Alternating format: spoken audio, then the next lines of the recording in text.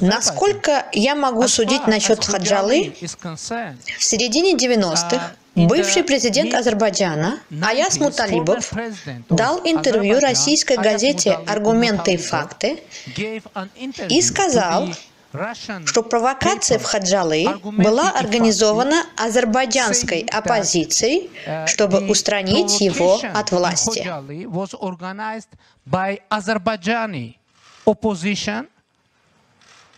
To tackle him from the power.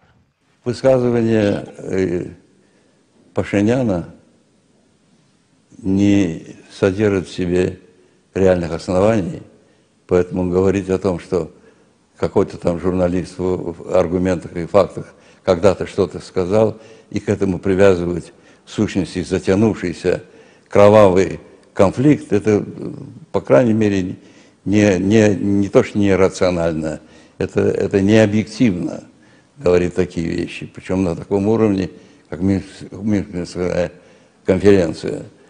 Но президент страны дал достаточно убедительный отпор этим инсинуациям. И вообще ссылка на меня в данном случае, она сама по себе э, удивительна и недопустима.